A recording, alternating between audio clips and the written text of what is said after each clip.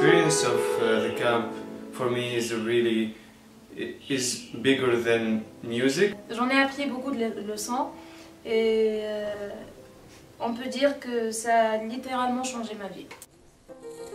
Whenever I have the chance to talk about my experience teaching in Tunisia, I always say that my experience teaching there, um, it's always my favorite two weeks. Euh, bah, le stage c'est super méga important pour moi parce que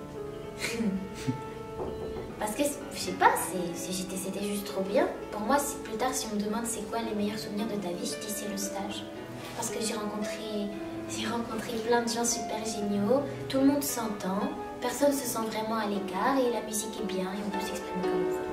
It was one of my most uh, challenging experiences and one of the most life-changing experiences as During the, the stage, main fact I learned how to communicate with people, so one of the major things learned during the stage is that how you can build a conversation, whether a musical conversation or normal conversation.